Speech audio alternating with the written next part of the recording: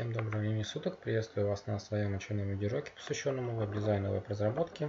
И сегодня мы с вами продолжим э, изучать основы фреймворка AngularJS.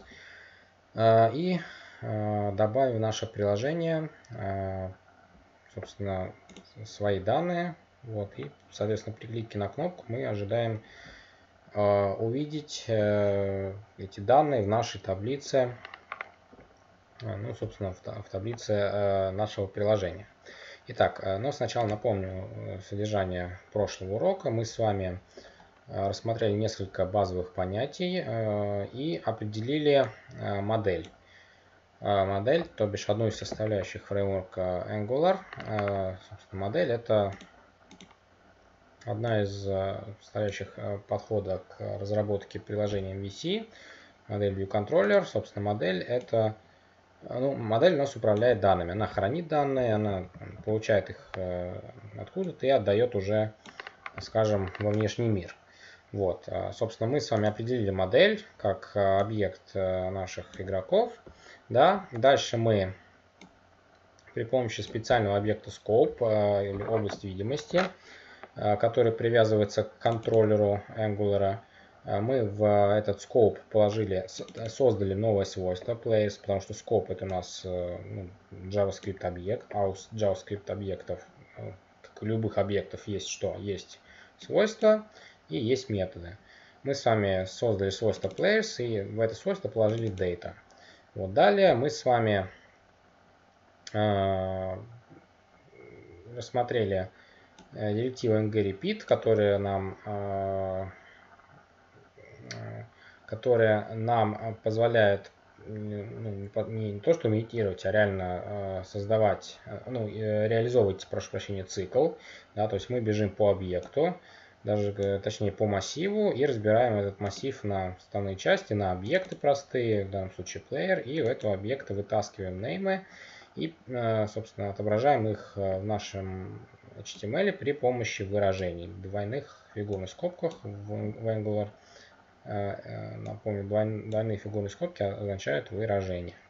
Вот. Э, ng-repeat нам через несколько уроков мы его немножечко модифицируем, когда будем с вами рассматривать фильтры. Вот, там они нам пригодятся. Вот, когда будем с вами рассматривать и фильтры, и удаление информации. В общем, вот эту часть мы еще с вами модифицируем. Ну а сегодня мы с вами, собственно, выполним небольшой, небольшое Э, ну, улучшение, добавим функциональность к нашему приложению, а именно при клике на кнопку «Добавить» мы с вами э, ну, в нашу модель добавим данные. То есть они уже не будут определены, скажем, жестко в лоб, да, как на прошлом уроке, а мы сами эти данные добавляем. Прежде чем написать э, реализацию, метод, мы с вами должны, ну, опять же, это уже было сделано, но все же я напомню, мы с вами должны у кнопки определить директиву Angular ng click. Вот. И значение этой директивы будет не что иное, как метод, который будет, собственно, срабатывать при наступлении э, события клик. Ну, клик вы понимаете, да, это директива, которая инициализирует событие клик э, на каком-то элементе. Собственно, как я уже сказал, у объекта scope э, может, могут быть свойства, мы с вами их рассмотрели, уже знаем, и может, могут быть методы, как у любого JavaScript объекта. Э, собственно, я добавляю метод э, addPlayer, определяю его, точнее, метод addPlayer в глобальном, не в глобальном, а в объекте scope. И говорю, что addPlayer это у меня будет не что иное, как метод, ну, собственно, с названием, с именем addPlayer. И в данном случае он у меня будет вводить в консоль э, единичку. Давайте проверим, так ли это. Так, я открываю консольку. Ну, собственно, у меня тоже там выводит единичку. Это я проверял перед уроком. Все ли правильно у меня. Итак, я нажимаю кнопочку «Добавить». И вот, смотрите, у меня единичка. Раз, два, три, четыре, пять и так далее и тому подобное. В общем, э, у меня э, контроллер по-прежнему прекрасно общается с э, моделью. Только теперь уже мы связываем не просто свойства, да, а еще нет, вызываем, так скажем, в нашей view э, вызываем метод при помощи директивы ng click. Ну а теперь давайте, собственно, сделаем то, э, к чему мы с вами стремимся, а именно добавление игроков из нашей формы. Итак, а, значит, у нас есть инпуты, да, и э, так как у нас э, вьюха, ну, view, да, связывается с контроллером э, в, в контексте Angular при помощи специальных директив, а именно ng-model, то, собственно, мы их и возьмем как ну, связующее звено, то есть будем соблюдать Angular. И если бы мы это делали, так скажем, Э, ну, в контексте jQuery, да, мы брали там ID или name или еще что-то, брали, брали бы у него val. Но у нас есть Angular, у нас есть э, директива ng-model, собственно, замечательная, которая является связующим звеном между э, в данном случае контроллером, ну, контроль, не контролем, прошу прощения, а вьюхой и моделью, да, то есть обновляет данные в модели. Ну, собственно, поэтому мы с вами можем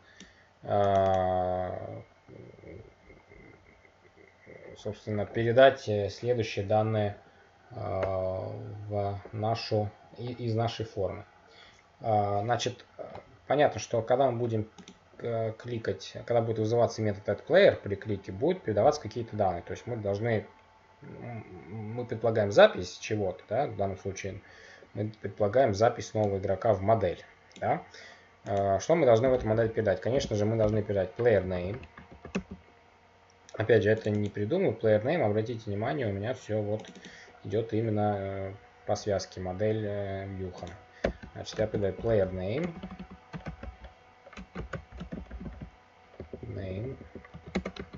Дальше player team. Player team. И player country. Player country. Отлично передал. То есть, ну, не передал еще, я сказал, что я буду это передавать. Теперь надо, собственно, до реализации дойти. А, реализация здесь очень простая на самом деле. Суть ее в следующем. Когда мы добавляем э, игрока, если бы мы добавляли, так скажем, это в рамках э, базы данных, то мы бы с вами, понятно, вызывали бы какой-то там скрипт э, PHP, то есть какой-то обработчик инициализировали и отправляли бы наши данные, соответственно, Э, базу данных. Вот. Но э, здесь у нас приложение клиентское. Э, хоть и забегая вперед, скажу, что мы можем работать в Angular и на уровне сервера, ну, скажем, на уровне сервера, а Angular может общаться с сервером, это мы с вами чуть позже рассмотрим. Но сейчас нам с вами, пока далеко не будем забегать, сейчас нам с вами важно записать наши данные скажем, просто сохраните и отобразите, что мы, что мы добавили и э, эти данные и результат наших действий. Результат нашего добавления это отображение наших данных в таблице. То есть пока мы сейчас про сервер с вами не говорим. Возникает вопрос, э, что же будет происходить э, на самом деле реально, если мы рассматриваем с точки зрения клиента добавления информации. Думаю, вы уже прекрасно понимаете, что данные мы будем добавлять куда? Абсолютно верно. Мы сами данные будем добавлять в модель. Э, у нас э, за данные, за хранение данных и, соответственно, за их отдачу в, во вьюху отвечает модель. То есть мы отдаем на откуп э, любое хранение данных в любом виде модели. Соответственно, мы получаем данные из модели, но никто нам, соответственно, не запрещает, и не то, что не запрещает, это нормально, в эту модель данные записывать. Да? Поэтому что нам с вами надо сделать? Нам с вами надо взять э, вот эту нашу модель, scope players. Ну, на самом деле scope players, вы понимаете, да, что это свойство. Вот, но э, мы, собственно, э, э, это, собственно, и есть модель. Поэтому э, мы в эту модель должны данные добавить. Э, давайте с вами... Э, сделаем вот что. Мы с вами добавляем эти... А, нет, мы с вами вот что сделаем. Я уже запутался совсем. В действиях, которые я хочу производить. Слишком много информации. Так, сначала я распечатаю существующую нашу модель. Scope Players.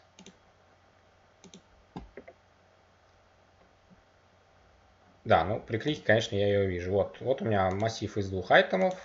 Все отлично. Вот у меня, то есть, у меня уже есть какие-то там данные, 0 и 1.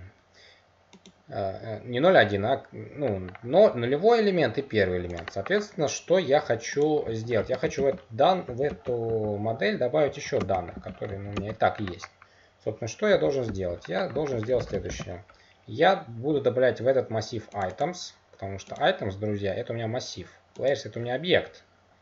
Э, players, да, это у меня объект. Вот он по сути. А сам items, как видите, он представляет из себя не что иное, как массив этих самых объектов. А, итак, я в этот массив должен, в этот объект, прошу прощения, должен записать, нет, в этот массив, все же, извините, пожалуйста, в этот массив я должен записать новые данные. Как я это сделаю? Да все очень просто.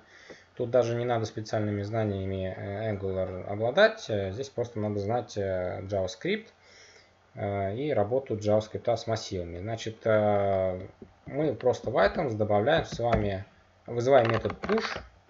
Вот, и, собственно, что мы будем туда пушить? То есть, что мы будем добавлять? Мы с вами будем добавлять свойство name, ну, у нас же есть свойство name объект. Да? Мы, по сути, не, не просто массив добавляем, мы добавляем новый объект в этот массив. Да? То есть мы добавляем сложные, комплексные данные. Вот, поэтому я добавляю player name, добавляю team, как, соответственно, player team, а, и добавляю country, как, а, не как, а свойство country и значение его player country. Вот, ну вот, собственно, Надеюсь, что я правильно сделал. Давайте проверим. Итак, я хочу добавить нового игрока. Так, ну, так как у нас сейчас еще э, летнее трансферное окно закрывается в Европе, то э, Меркату, так называемое, да, не дадут мне футбольные болельщики соврать, то будем использовать последние переходы. Ну, собственно, у нас э, звездный нападающий французский Килян Бампе наконец-то э, перешел в ПСЖ. Вот, э, он у нас, ну, он пока на правах аренды перешел, но в следующем году э, ПСЖ, скорее всего, выкупит за 150-180 миллионов. Там уже как они договорятся. Итак, я ввел информацию, ввел команду, гражданство, нажимаю кнопочку «Добавить».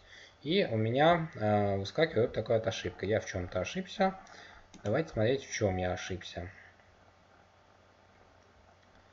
Так, player. Да, ну конечно же я ошибся, потому что я эти параметры здесь не проинициализировал, не описал их, э, не описал в декларации метода э, эти самые параметры. То есть player count у нас сейчас внутри метода неизвестно, а сейчас будет известно. Так, давайте еще разок. Я обновлюсь. Клиан БП. У нас теперь в ПСЖ. И он у нас француз. Нажимаем добавить. И вот замечательно. Смотрите, у меня э, Килиан БП. Соответственно, добавился э, нашу с вами э, нашу с вами нашу с вами таблицу, да, что-то я задумался. Так, вопрос, почему вот эти вот товарищи не добавились? Player Country.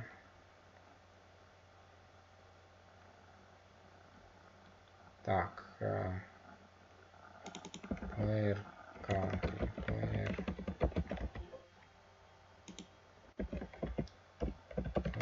Country. Да, давайте все-таки сделаем полноту, полную картину.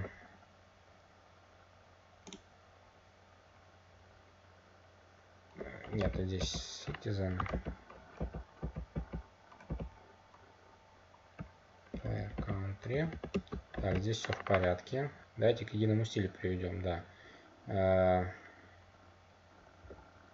country. А и здесь country. А, ну конечно же, да. Вот почему. Имена свойства разные. Country. Country. Ну, Citizen, конечно, более правильно, как гражданство имеется в виду. Но все же, да, вот теперь гражданство появилось. Раз проверяю, что у меня есть такой вот Килиан БП, и он у нас француз. Да, теперь я нажимаю кнопочку добавить. Вот, вот теперь прям красота, согласитесь. А, ну, собственно, вот сегодняшнюю цель а, этого урока выполнили. Мы теперь давайте, прежде чем закончим, немножечко, так скажем, посвящу ближайший план, что вот, так скажем, нам мешается сразу же. Первое, вот я нажимаю на кнопочку «Добавить», у меня этот Мбаппе, э, Килиан появляется сколько раз, столько, сколько вы хотите. Поэтому первое, что надо с вами будет сделать, да, еще, добавляются пустые строки. Тоже проблема. Второе, э, точнее даже третье. Э, у меня всегда Неймар и Месси есть уже изначально. Почему? Потому что у меня модель инициализирована. В реальных проектах, конечно, это не так. Да, Angular у нас клиентский фреймворк, но данные мы, в принципе, должны, ну, не должны хранить где-то на клиенте. Да?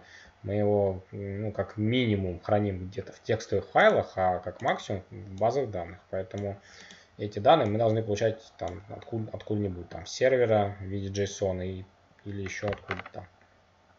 Поэтому у нас с вами сейчас впереди э, много еще нововведений в наше приложение. Это валидация формы, как уже поняли, да, чтобы пустые строки не добавлялись. Это получение данных уже э, именно э, с сервера. То есть, рассмотрим с вами, как Angular общается с сервером. Вот. Ну и, собственно, что еще? Ну, еще какие-то вещи, например, опять же, э, запрет на добавление одинаковых элементов в, в, в модель.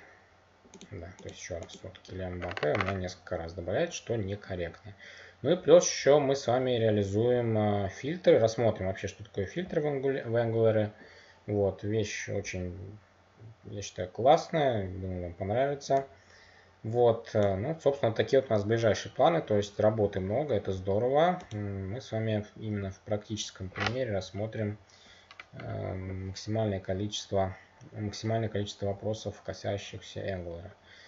Вот, э, ну, собственно, да, наверное, сегодняшний урок может вам показаться очень простым и малосодержательным с точки зрения информации, да, но я пока не сильно тороплюсь, вот, но скорости все же буду увеличивать, потому что к синтаксису, к понятиям Angular надо привыкнуть, но потом уже можно смело и разгоняться. Вот. Ну что ж, друзья, на сегодня все. Всем большое спасибо за внимание. Всем большое спасибо еще раз за ваши добрые слова и поздравления а, относительно позавчерашнего видео и моих двух лет, а, собственно, с вами.